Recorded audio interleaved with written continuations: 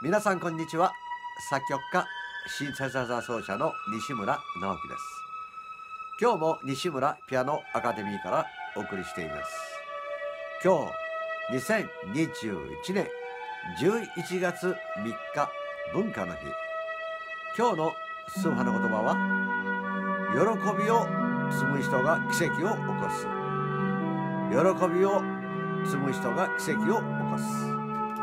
そして今日の BGM は昨年没後80年を迎えました三等歌。その三等歌のアルバムからお送りしています。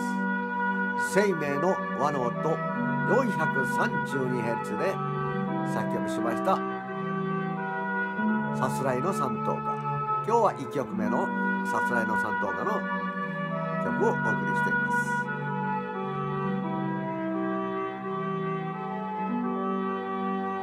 三等歌自由な、まあ、俳句を作りそして自由な生き方をそして非常にこよなくお酒が好きであった。